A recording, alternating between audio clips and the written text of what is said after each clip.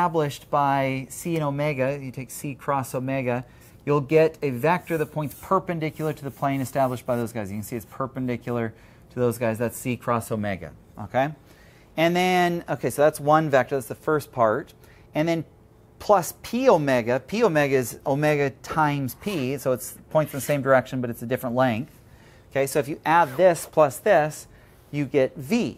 Okay, so that's a graphical depiction of v. And let's just call this angle here theta. We haven't defined that anywhere. And then p is the pitch, okay, which I always draw near this squiggly thing. Okay? Okay, so just graphically, we know that the magnitude of v times cosine this angle is going to, you know, magnitude times cosine this angle is going to be this length, which is p omega. p times magnitude of omega. Okay? Okay, so these, this is a scalar uh, equation here. So we put these absolute values, you know, the magnitudes of them.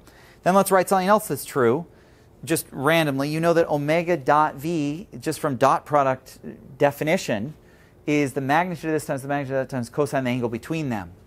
And here's omega, and here's v, and so the angle between them is theta. Okay, so that's the angle between them, cosine theta. It's the same theta as that. Okay, and then we also know omega dot omega is just magnitude of omega times magnitude of omega. Of course, uh, it'd be cosine 0, which is 1, right? All right, so, so that's that. So with these three things, you can see, like, look at this. If you take that, plug it in there, then it's just that, and then it's p times both of those. So it's really this dot this equals this dot this times p. So you can divide that, and now you say p equals this. Okay? So basically, if I give you just the, you know, the, this 6 by 1 vector, I can take the top three components, dotted with the bottom three components, and then divide it by the top three components dotted with themselves, and I'll know the pitch of this screw. So now we've gone from omega and v to p. Okay, and let's do an example of that. Say I give you a twist of this. Uh, again, I, I, probably should have put uh, units in there, but um, I'm just giving you the numbers. Say there are any units. Okay? And um, let's uh, identify omega is the first three, and v is the last three. Okay? And then we'll just plug it in this equation. What is omega dot v? Put me on pause and check, check yourself. Um, it would be 0 plus 2 plus 0, so that's 2, okay, on top. And then what's omega dot omega? Well, it's 1 times 1 is 1, 2 times 2 is 4, 0 times 0 is 0, so 1 plus 4 is 5. And that's what it is. So 2 over 5 is the pitch of this twist. Okay, and there's always one correct pitch. And that and that since that pitch isn't 0, you know it's not a rotation. And since that pitch is not infinity, you know it's not a translation. So you know it's some uh, screw. The whole world here is rotating around uh, some screw with a pitch of 2 over 5. Okay? Uh, again, I, I, probably should have done units on this. This would be meters per radian is what it would have to be. Okay? Okay, so now, okay, so, so, and of course we can find the omega. It's just the first three components. So if I give you this twist, we know this, we know this, and we know this. What are we missing? We don't know C. We don't know the location. We know, we know the magnitude. I mean, uh, well, the, the magnitude of this is, is going to be right? 1 squared plus 2 squared square rooted. So the magnitude is going to be square root of, of 5, right? And the direction is defined by this. And the pitch is this, but where is the location vector? Well, um, we can also get that from math, just working backwards. Um, remember cross product math, if you didn't know cross products, I'm about to teach you here. C cross omega is if you, if you put the unit vectors i, j, and k, that's in the x, y, and z direction and I put all the components of C, Cx, omega x, omega y, omega z, and then do this thing where you cross this out times these two, and then minus it from those two, that's the y component, and then subtract, cross these out, do that times this, minus that times this, that's the j component, and then cover that up, plus that times that, minus that times that. That's the k component, okay? That's, hopefully that's just a little review of cross product, okay? Okay, and then we can say, so th these are the x component, but there's another part of the x component. There's p plus omega x. So check it out. Vx equals all this stuff plus p omega x. Vy is all this stuff plus p omega y, and, and so on and so forth. Okay, so if this equation is true, which it is by definition of that, then let's pull out in matrix form. Okay, can you see how if I take these omegas and times them by that, see omega xp, okay, is that, minus cz omega y, is that, uh, plus cy omega z, cy omega z equals vx.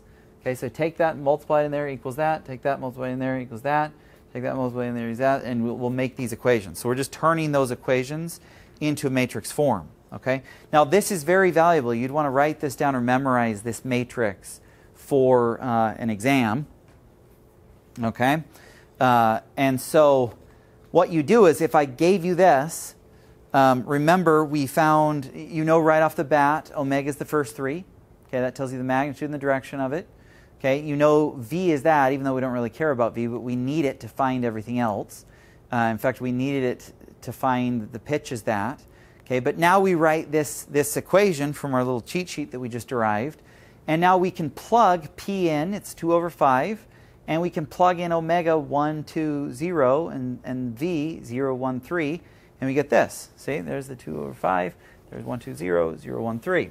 Okay, and now what we just need to find is these C values, the C components.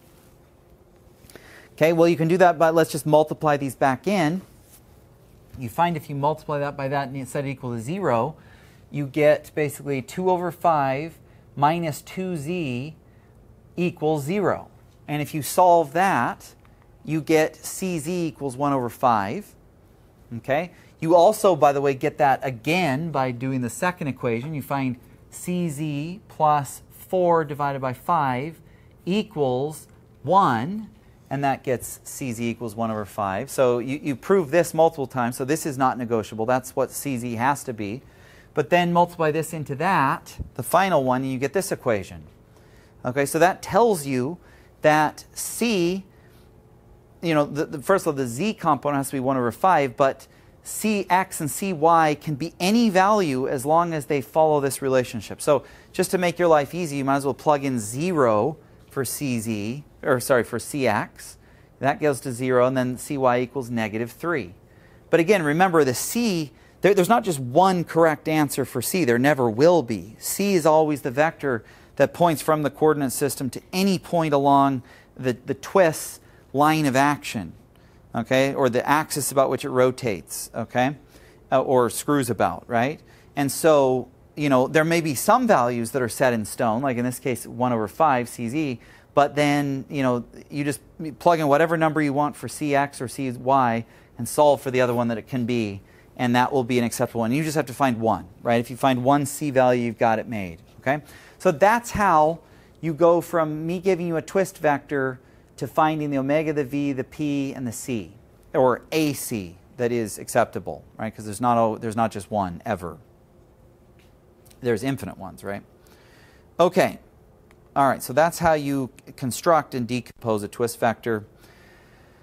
Okay, so now uh, what I'm about to teach next is, is probably the hardest thing to understand of the entire course.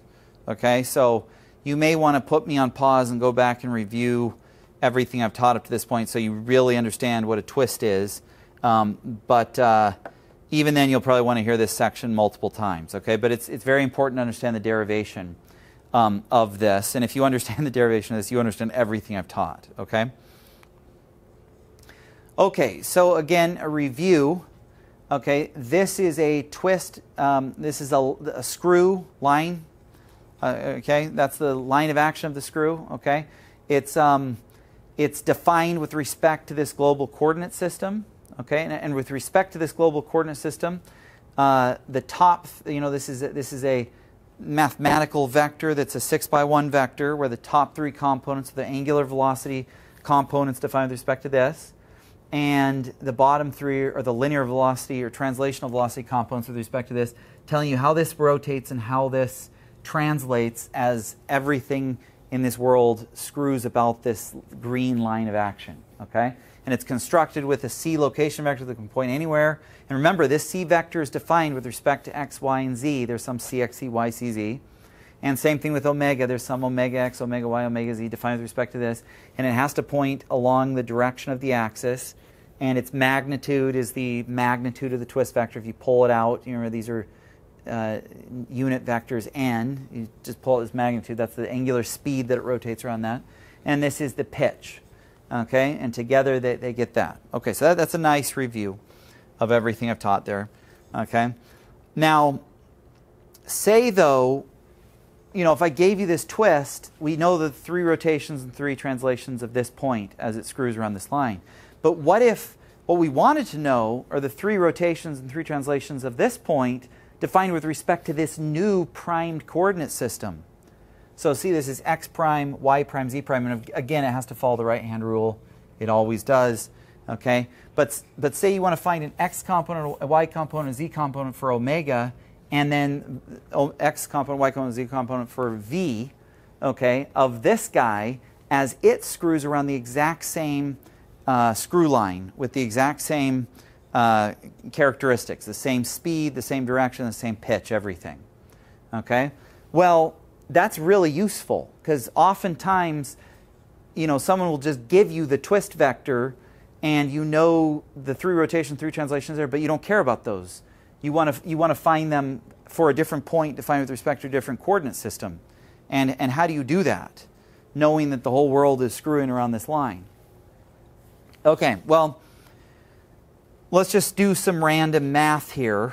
Um, so that's the objective, that's where we're going, but um, it's not going to be clear how we're getting there just yet. So we're going to do some random things, okay? First, what we're going to do is we're going to find a few vectors, okay? We're going to find a new location vector L that points from this coordinate system to that coordinate system that we care about, okay? And um, it's going to be defined with respect to this coordinate system. So there's an Lx, Ly, Lz within a 3 by 1 vector that points from there to there, okay? All right. Then we're going to define some unit vectors that correspond with the new axis, that the prime axis, or the prime coordinate system. But they're going to be defined with respect to this guy. Okay? So n1 has to point, it's collinear, it's pointing in the same direction as x prime, but its, un- its components are defined with respect to this x, y, and z, and its, its direction obviously points that direction, but its magnitude better be 1. Okay? and it's got to go with x. And then n2 goes with y, and n3 goes with z. Okay? And again, they're all unit vectors, all magnitude 1, and they all point in perpendicular directions corresponding to x prime, y prime, z prime, and they're all defined with respect to this global coordinate system. Okay? Okay, so it's like, okay, well, why did we define those things? Well, these things are going to be the things that are defined with respect to this coordinate system that we're going to use to translate it into this new coordinate system, the information. Okay, but again, let's keep doing some random stuff. You're not going to see where this is going. Let's just say we don't care about this screw right now, and we just want to find the three rotations and three translations of this point defined with respect to this point if the whole world were rotating around this instead, where this red rotation goes uh, along the n1 vector we just defined with respect to this. Well, that's a rotation, so its pitch is zero. And we would basically do this. Just say the magnitude of it is omega x prime. That's the magnitude of that. Just, you know, just arbitrarily say that. And you see how we did this. The new c vector is L, and the new omega is n1, okay, whose magnitude is omega x prime. Okay, so do you see how that twist vector is just a pure rotation? Again, the pitch is zero because it's a pure rotation um, that captures the top three components. The bottom three components would be the three rotations, three translations of this point if it were just rotating around that line. Okay? So you're like, okay, that's true, but what does that have to do with anything? Well, nothing yet. But let's, let's now do the same thing on this one. Let's say the whole world were rotating around this axis. It corresponds with N2. And we want to define the three rotation, three translation with respect to this. Then we do it like this. And say we give it the magnitude of omega y prime. Okay, because it's omega about this y prime but it's N2, L cross N2 with no pitch. It's a rotation. Okay? Okay, then we do the same thing about this. We're rotating the whole world about this line going through N3, and we write it like that. Okay, so we've now defined three orthogonal rotations that, that happen to correspond uh, with the new coordinate system, but we're still talking about everything's defined with respect to this, and we're still looking at three rotations, three translations of that point as it rotates around all three. Okay? Okay, but now let's, let's go even further and let's say we only care about a translation in the direction of n1. Okay, then guess what? But we're going to define it again, all with respect to this. So since it's a pure translation, its its magnitude, the top three components, angular velocity zero. Okay, its pitch is of course infinite, but we don't we don't care about that because in its you know c vector, its new location vector is l. But again, it's a pure translation, so it doesn't have a location vector. So l cross zero zero zero is going to be zero, so it doesn't matter. And we've got that infinity times the um, zero zero zero thing, and so we get a, a, a uh, velocity in this direction is defined by its magnitude is Vx prime and its direction is n1. Okay? Oh, by the way, I, I don't think I made it clear. Let me, let me actually go back. Uh, uh, yeah, I, I think I forgot to make one little point here. Yeah, back when I defined this velocity, okay, the magnitude of this guy, remember before the magnitude of all these things was magnitude of omega pulled out, and these are n, n, n for unit vectors. Well, because it's a pure translation, the magnitude is actually the magnitude of v pulled out, and this is all zero, and that's an n. Okay, so that, that's how you do that with uh, pure translations. Um, the, the magnitude of rotations and screws is always the magnitude of this, the top three. But when it's a pure translation, the magnitude of the twist is always the magnitude of the bottom three, because the magnitude of the top three is zero, right? So you just pull that out, okay? All right, so let me go back here. Problem with having so many slides. Okay, okay, so we did those things. Okay, so we do this. Here, here we are. So that's the magnitude of it, which times by that, and times by that is zero anyway. So, but times by that, and it'll be the magnitude of that translation. Okay, now let's do the same thing in that direction. Okay, and again, we're just, we're just finding the translations of this point defined with respect to this. Pure translations, you just give it a magnitude of Vy prime because it's in the y prime direction, 0 and 2. And again, it's all defined with respect to this. Remember, n2 was, n3 was as well. Okay, we do the same thing there. Okay? Okay, so why in the world did we do that? Well,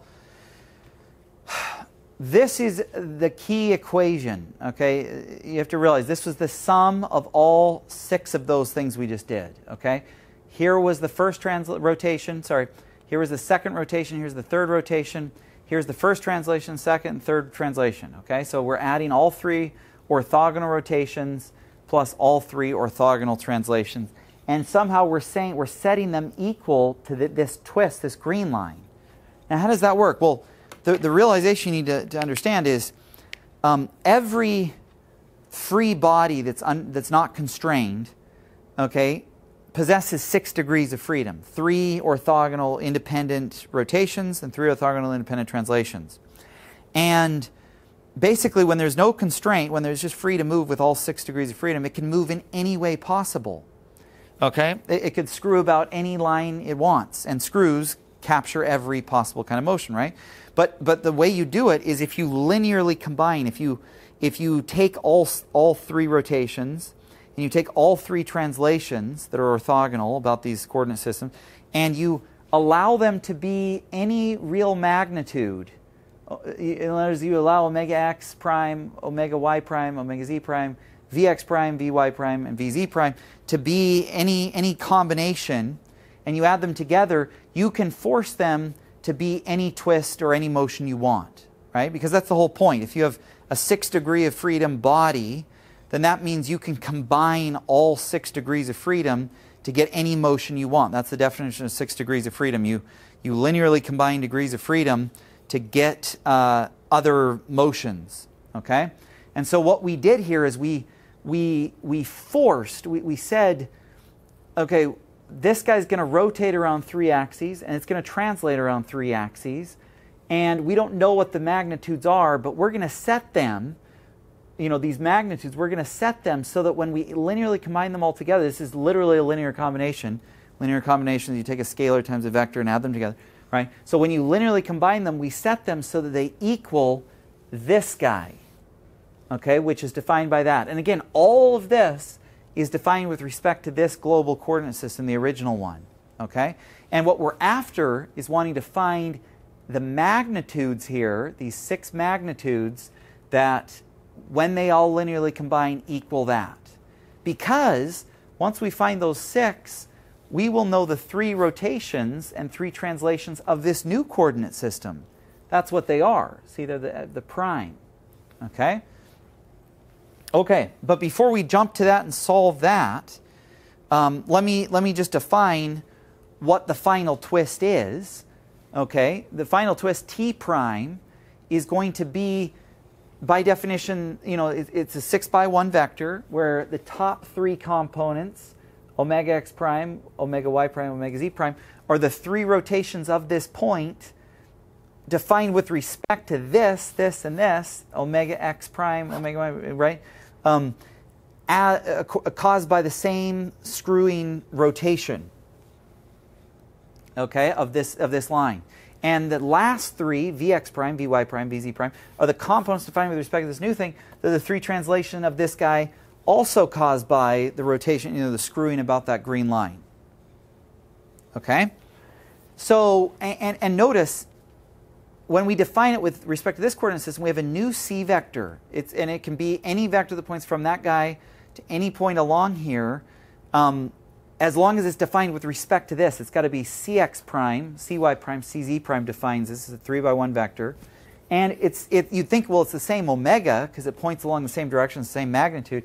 But it, it's not. If you define the omega with respect to this, it's going to have different components than if you define it with respect to this.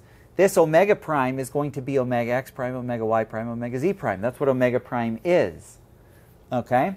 And so that's why, see, the top three is there, and here's that guy.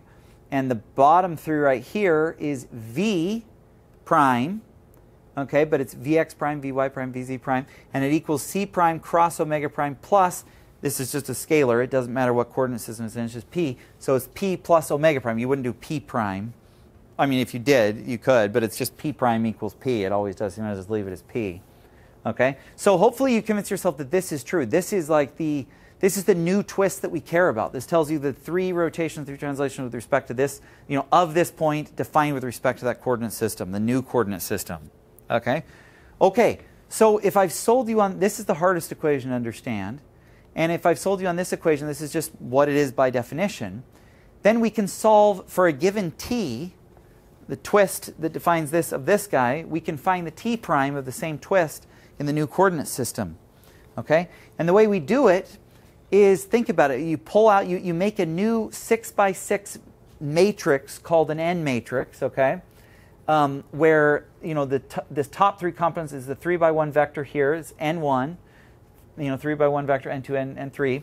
The, these zero vectors are 3 by 1 vectors. They're all zero. So this top right corner essentially makes a 3 by 3 of all zeros matrix. Okay, here's your L vector cross N1. Again, this is the 3 by 1 vector, so this makes a 3 by 1, 3 by 1, 3 by 1. So, so hopefully you see how that's a 6 by 6 matrix. Okay, and where in the world, and, and they're all defined with respect to the global coordinate system, the original coordinate system where we define T. There's no primes in there. And we got them, they're the exact same things as these. Okay, and you can see we pulled out these omegas that we care about and the v's, we pulled them out into t. So, so you can see t prime, which is that, notice the transpose, it takes it down like that, times this n matrix, this 6 by 6 matrix, this is a 6 by 6 matrix times 6 by 1 matrix, times that by that, you can see gets that top equation where it equals t. Okay, which is that. Okay? And these, everything in here, this is what we want to find. In other words, we want to find the magnitude of all six of these things that force the linear combination of all six independent degrees of freedom to equal the twist we wanted. Okay? And so hopefully you're convinced if you know where we got n, and you can see how n times t prime, knowing that t prime is that, equals t, then you're golden, and all you do is you invert it, and now you get t times the inverse of n equals t prime. Okay? So, whether you understood the derivation of that or not, what you do anytime you find something, someone gives you a twist vector in a reference frame you don't want, what you do is you with respect to that coordinate system, you point with an L vector to the new coordinate system, define the coordinate system's directions n1, n2, n3 with these unit vectors, make this 6 by 1 matrix, invert it and times it by t, and out will come your three rotations and three translations with respect to the new coordinate system. Okay, I strongly recommend you re-watch that multiple times, but let, let, me do an example to show how this would work, whether you uh, believe me or not. Okay. Okay, so say we have this example again where we have this, this old coordinate system x, y, and z, and it happens to be centered on this block. And you know, if you go two over this way, one up that way, you have the location vector c, not c prime, you know, location vector that points to a screw line that comes out at you with a direction perpendicular to the page in the x direction here, with a magnitude of two radians per second and a pitch of one meter per radian. Okay. And, um, you know, we, we were able to, uh, in the past example, find the twist vector of that using this information. And it, it basically helped us find the three rotations and three translations uh, of this point with respect to that coordinate system. Okay, but now say we don't care about those three translations, three rotations. We actually want to know as this whole as the whole world screws about this line with these characteristics we actually don't want to know the three rotations and translation at this point. We want to know the three rotations translation at this point with this new coordinate system, where this is 2 meters down, 2 meters over. This is cocked 45 degrees. The new x prime is collinear, or is pointing the same direction as the old x, but then y prime and z prime are We want to know the three rotations, three translations with respect to this. Okay? Well, we could use the, the approach I just used with matrix transformations, of course, and we will, but let's, let's use the old school way, the previous approach. Okay? Let's just let's pretend we don't even have this coordinate system. Let's just take this coordinate system and define, you know, the c vector, the omega vector, the p vector, do it do it the old way, the, the way we did this example before. Except let's pretend this stuff doesn't exist and we're just doing it from this. Okay? Okay, well the, the, the omega with respect to this is it's still coming out of the page, you know, but it's you know in this direction, right? So two radians per second, that's positive because it's going uh, you know, they gave it two positives going counterclockwise. It's coming out there. And uh, again, its components are 0, 0. There's nothing in those directions, just that. So that's the omega prime. Okay. What's the c prime? Well, it's a vector that points from there to there, and it's defined with respect to this coordinate system. So first of all, what's the magnitude of this? Well, it's 2 up plus another 1 up, so that's 3 up. And remember, this is 45 degrees, because that's 45 degrees, and that's obviously 90 degrees. So this is 45 degrees. And so we would get, uh, you know, what component can point along there? Well, any A, right? It can come out anywhere we want because it can point anywhere along the axis. Okay? And then we go, uh, remember, remember the, the trigonometry rule of if you have a triangle, or 45 degrees here, and then you think of another 90 degree angle here, you get a triangle there, that, that's going to be 45 degrees. This would be 1, 1 square root of 2 uh, is the length here. So you, if you wanted to find this perpendicular length along this axis, uh, it would be 3 divided by square root of 2m. And then the z component goes from that point all the way up to there with perpendicular right angles. So you're finding the z component is also 3 divided by square root of 2m. Okay? So this is the c vector prime relative with respect to this guy. This is the omega vector prime relative with respect to this guy. Okay? And then the p, there is no p prime, it's just p, is what was given. And so if you take, if you, if you want to construct t prime, which is the, the twist vector relative with respect to this guy, the three rotation, three translations there, uh, you take the first three here of omega prime, there it is. And then you take c cross that, do that at home. You'll see the A will drop out, and then you add it to this times this, right?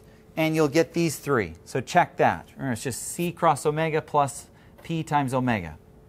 And in this case, it's all the primes, okay? So this is the new T prime, which means these are the three rotations of this point relative to this, and these are the three uh, linear translation vectors, or translation components of this with respect to this okay? As the whole world, as everything screws around this line.